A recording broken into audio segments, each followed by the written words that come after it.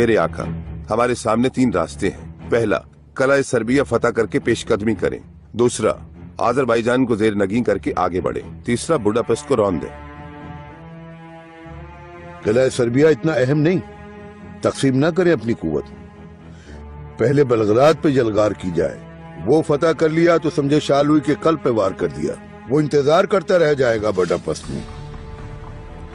मेरे आका बलगरात कितना मज़बूत किला है ये हम खूब जानते हैं। तभी नाकाबले तस्खीर है। अगर हमने बलगरात को हदफ बनाया तो कहीं पसोपेश में आकर लश्कर की हिम्मत न टूट जाए। लेकिन अगर कल सरबिया की फतह से आगाज़ किया तो हौसले बुलंद रहेंगे। क्या कहते हो पारगाली? मेरे आका ये मेरा मुकाम तो नहीं। लेकिन अहमद पाशा की तजवीज बेहतर है। ये हिकमत अमली कारगर होगी। ये क्या बात कर रहे हैं मुकरब खास? खेल है या जंग? हकीकी जंग ऐसे नहीं हुआ करती। पहला हदफ सर्बिया होगा। बलगरात पर हमले के लिए डेन्यूब से आने वाली बहरिया का इंतज़ार करेंगे।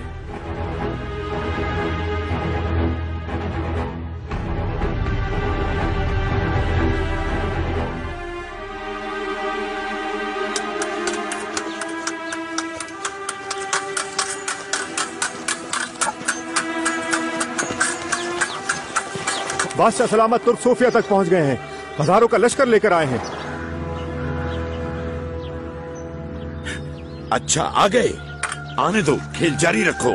अब हाँ, हाथ न रुके। रुके अगर तो मरोगे।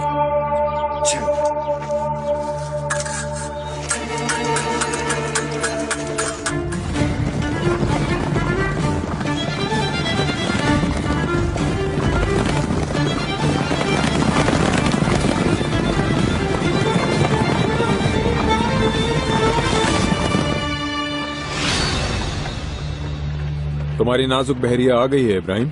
अब देखते हैं इसकी अहलियत। मेरे आका अहलियत बहरिया में नहीं। दरअसल अहलियत तो इस लश्कर के अजीम सालार सुल्तान सुलेमान में। फतह आ रही है कदम बोसी के लिए। सिकंदर आज़म से भी बड़ा फातेह बनने के दिन आया ही चाहते हैं सुल्तान मौसम सुनो इब्राहिम सबर से कदम बढ़ाना फतह की कुंजी सबर है।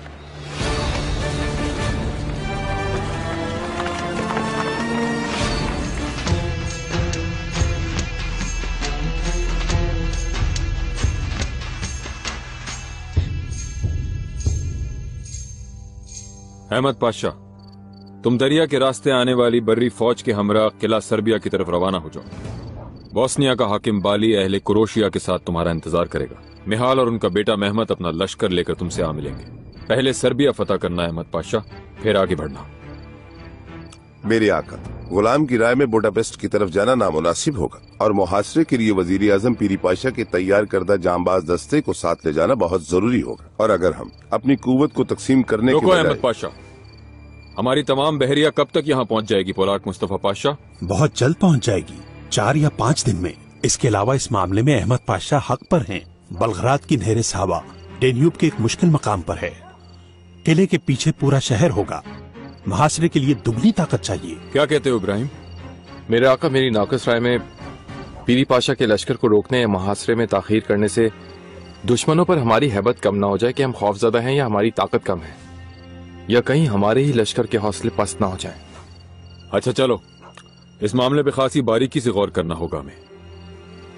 इब्राहिम तुम सूबेदारों और कमानदारों को फ़ौरन बुलवाओ। यहाँ के मुकामी लोगों का मशवरा लेना होगा।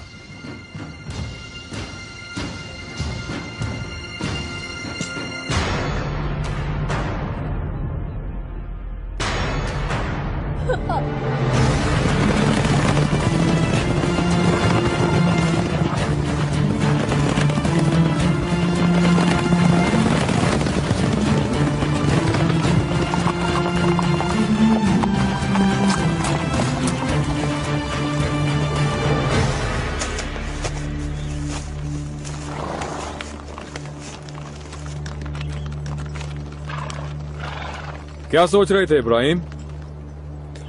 ध्यान किधर है? मेरे आका जहाँ तक मुझे याद है बलगरात का मुहासरा करना था हमें। मैं कुछ तजब्जुब का शिकार हो गया हूँ आपके इरादों से। तुम्हें याद है शिकार के लिए सरदास गए थे तो किस तरह उलझन में फंस गए थे रास्ता ही भूल गए थे। शाम ढल चुकी थी और कुछ समझ ही नहीं आ रहा था हमको। तब अचानक कहीं से एक मेहरबान लकड़हारा नमूदार हो गया था। और हमारी मुश्किल सुनकर कितना आसान रास्ता बता दिया उसने हमें। आज भी कोई रास्ता दिखाने वाला मिल जाए तो मुश्किल आसान हो जाएगी। माजरत चाहता हूँ मेरे आका। कुछ समझ नहीं पाया मैं जल्दबाजी में। तो फिर ठीक है चलो। लश्कर हमले के लिए बेचैन होगा।